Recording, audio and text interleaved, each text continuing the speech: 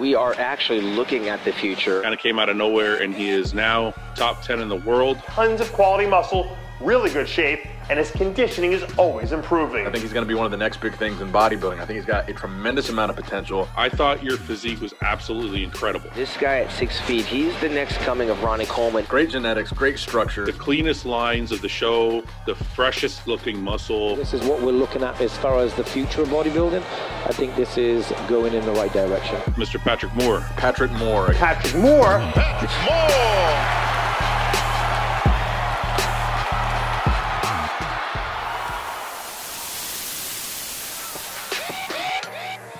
Once I hit the Olympia stage, things just kind of like blew up in a sense because it's like overnight, no one knows who you are. You just come on the biggest stage in bodybuilding and you actually look like you belong there.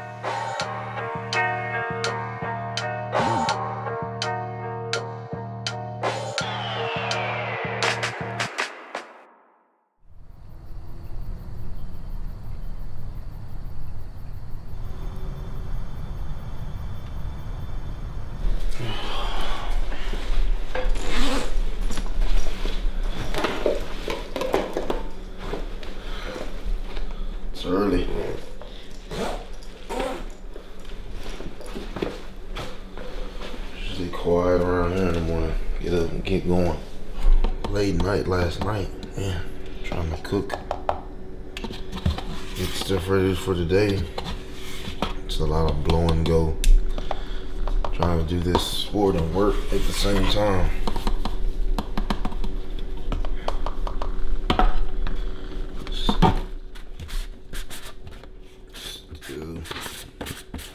like 75 grams of this. Usually do it after fasted cardio. So just kind of get it ready. Just once I get back, it's kind of like just gotta get dressed and hurry up and get to work. Back to the lower food plan today. But that's how it goes. It's a lot of up and down. But it is what it is. Uh, like maybe five, eight more weeks of it, nine, two shows back to back. This is a routine. Get get late nights, early mornings.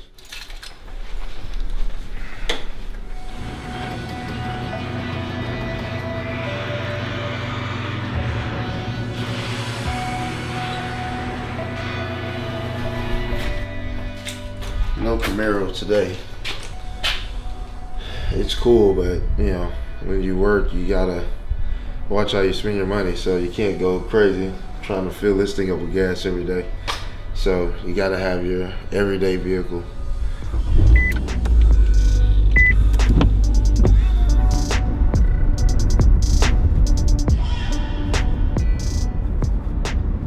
You know, you have to be able to get up early um, if you want to do this sport because they'll get to times where you have to eat those meals which is obviously a big component and talk about all the time is is eating and you have to get up and get started because if you tr- if you like me you have to work you have to plan your day your workout has to be around a certain time and sometimes you have to work out early in the day even though you might like might not like it. And if you have to get meals in before you have to get up earlier and start eating. There's times i eat at you know five o'clock in the morning. I don't want to but i have to have two meals in before i train. Um, if i want to have a good workout i could train you know with lower food but when it's the plan it's the plan and you have to stick to the plan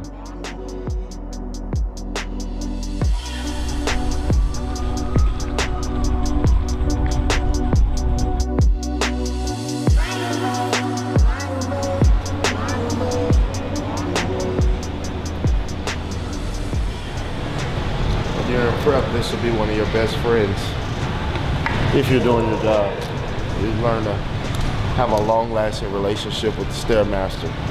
How long are you going to be doing stairs? I'm gonna do 45 minutes this morning, nothing crazy. Uh, I'm actually only assigned to do 30, so I may just do that and get out of here, just so I'm not off plan.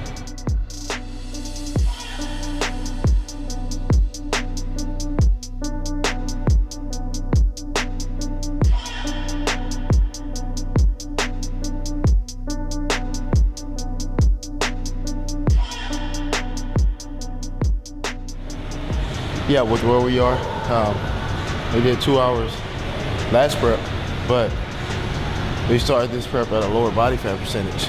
So you had to be careful when starting to not go crazy because you don't want to bite into the muscle. And we're going for a more full, harder package this time around at the Arnold. So other guys are doing a lot, probably because they have to. They're trying to get tighter, but we started off pretty tight. So it's easy to bring the amount down. We just had to be careful to not do too much cardio while you're trying to keep as much size as possible.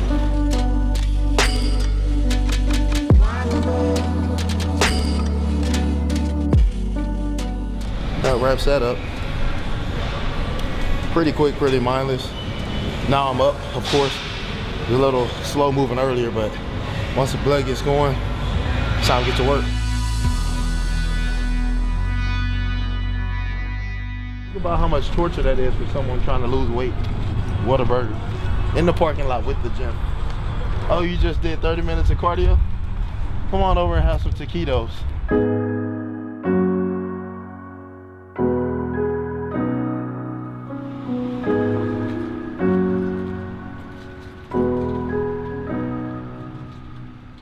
I was always muscular as a kid. And it's funny, I think I was two years old maybe, and there's a picture in there. It was Christmas time. And I always loved cars. And I was doing the front double bicep pose. And then I noticed it in other pictures as I was growing up. So I was, I, I, I idolized like action figures when I was growing up. So we would see the wrestlers, the little He-Man toys or whatever. So that's what we wanted to look like. It's funny because now that I go back and look at pictures when I was a teenager, it's just a much smaller version of what I am now. So I always had that ability to be muscular and you know now it's just aimed at actually growing that muscle. Now it's time to go to work and I'm all since I don't want to do the back and forth once I'm out of the house I'm pretty much out of the house for the day so I have to take all my food with me so what I'm doing right now is just kind of weighing out what I'm gonna have for meal two, meal three's in the bag, uh, and then of course I have meal four and five. So this is just your basic 10 ounces of chicken and one cup of rice. So this is the part you guys might not have seen. Um, I just put in, get the chicken, wash it, clean it, put it in the oven 20 minutes, and that's that. Put it in to-go container, and that's the Mrs. Dash seasoning that's on there because you don't, like I said, I do lower sodium when I'm getting closer to a show. And so there's two chicken and rice meals. So this will be meal three, meal four. Uh, and then of course we'll have the fish uh, twice and that'll wrap it up. It's nothing special today. Today is a very boring meal plan. And here, this is a 75 gram whey protein shake. So I say this with me, I'll have this uh, after my workout. So this is immediately after the workout and then about 45 minutes or so after, I'll have the solid meal. And that's so, that food, the, the protein shake absorbs quick. So you want fast absorption after post-workout because that, that muscle is going, it's eating. Uh, so it's kind of gotta, gotta get those nutrients, nutrients in there. And this is a little trick too. I keep with me in case I get hungry. I'll keep a can of tuna and I'll just eat it plain. It's just by itself. Like me all day, if you have to work and you're moving around, um, you keep something extra that you can put in your body if you're just that hungry so you're not tempted to cheat on your diet. That'll get me through about eight hours, which is about a typical work day.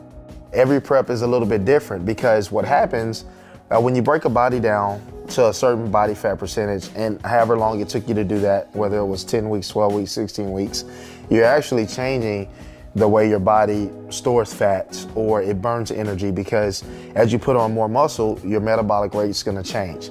So every prep, you're almost kind of, depending on the changes you make and how drastic, you could be working with a completely different body. We prep and it's 12 weeks and then we get a final physique and then we're like, man, that was good, but uh, we, we, this wasn't quite like this. We could have been uh, more full. You know, why we weren't conditioned enough, or man, we could be harder and bigger. And, and then you have to change it according to the lineup or the judge's feedback because they'll tell you, hey, can you do this? And so then you're back to the drawing board like, man, okay, I know on this prep I look like this. So how can I take that and mix it with this prep where I look like this? So then you get a conditioned physique, a more full and hard physique, and then you have to put those together. And then, like I said, that's still not an exact recipe because it could be a different physique that you're working with. So it's an ever-changing, evolutionary process. We're trying to learn your body with foods. It's never gonna stay the same because your body's gonna change.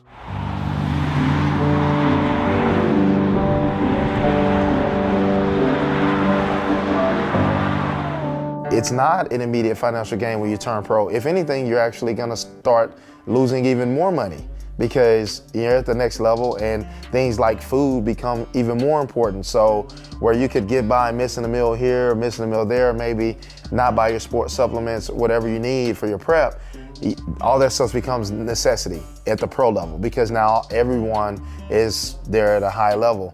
So you got to keep your income coming in because even then you don't make money automatically. You still have to win a show and you're going up against people who have experience. So you're spending just like if you're an amateur, all this money on a prep. You're putting in all the time, all the effort for a result that you just might not get.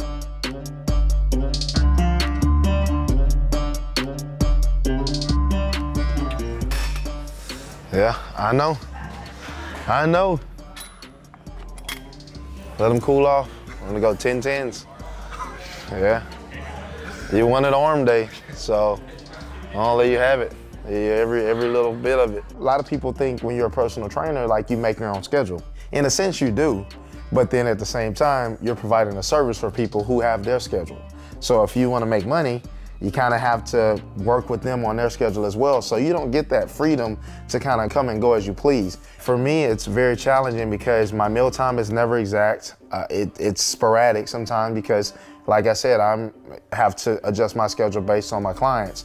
So with that going on, sometimes my training time may switch an hour here and there. And you know, you just have to roll with the punches.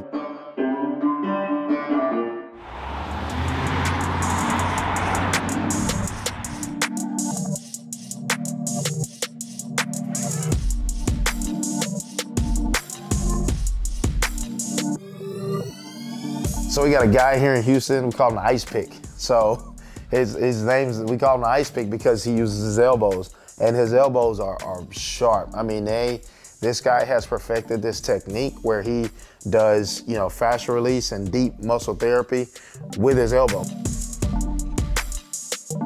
It'll make everything softer so it expands better.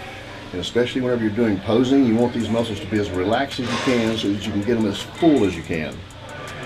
All our bodybuilders need to have their tissue very soft and pliable, not hard and rigid.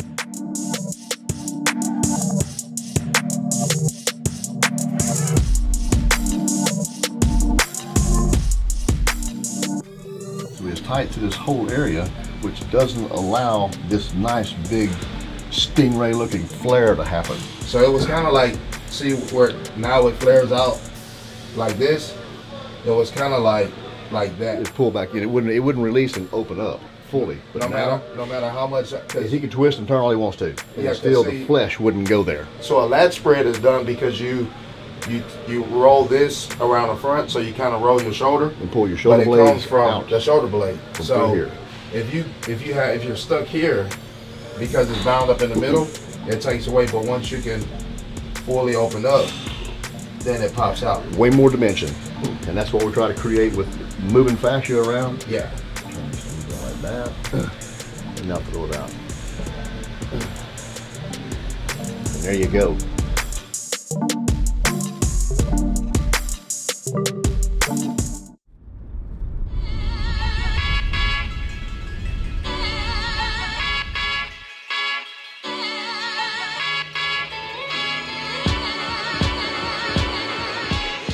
Burger time.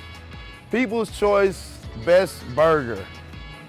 Burgers, dogs, just right.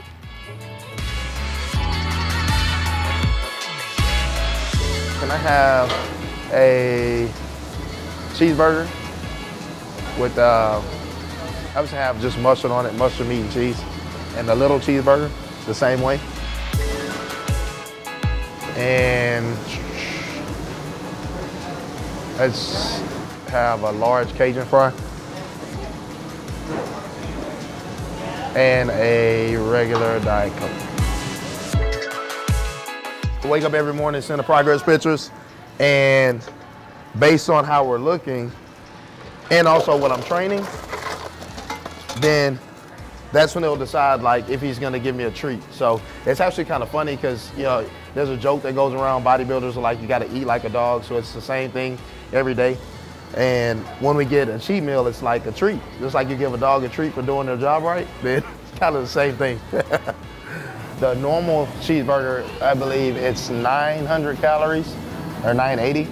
And then I have the little cheeseburger, so it's just a smaller version. It's 620. So that alone is 1,500 calories. Uh, on a normal day, I probably, I won't even get actually 2,300 calories. So as you can see in one meal with just the burgers, that's not including the fries. The fries are another 1,300 calories. So I'm already at nearly 3,000 calories with just one meal. So as you can see, those numbers really start to add up uh, once I stack in the extra cups of rice. Uh, I have a 12 ounce potato with a 12 ounce steak also later this evening. So it's a very, very heavy day. That's why I say it's literally probably about three times the normal caloric intake for the day. And it's just to shock the muscle.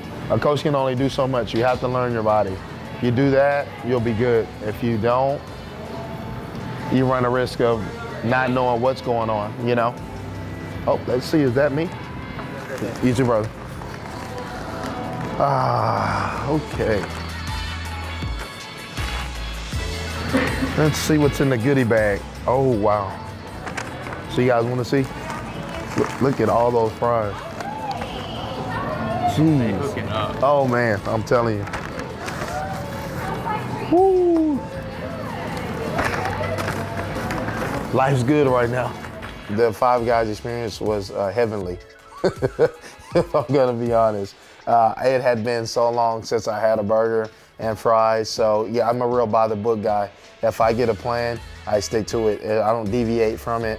Um, if I may have, like I said earlier, a rice cake or something if I'm just starving, but the plan is a plan and I stick to it. So that was just to shock the body and give it something to actually burn before we start actually biting into the muscle because that will happen. If you're staying on the plan that's low in calories, you'll start to eat up that muscle doing cardio and harder training. So it was good, it was necessary, very, very tasty.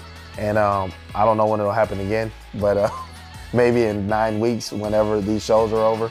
But it was good. It was I definitely needed it.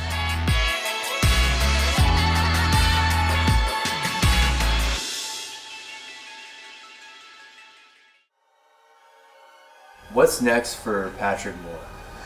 Uh, obviously, we have the Arnold Classic. That's that's next. We have the Arnold Classic Ohio, and then a couple weeks later, 13 days later, we have the Arnold Classic Australia. So those are the next two big shows that are on the books. Other than that, obviously we have our sights on Olympia, having a better showing.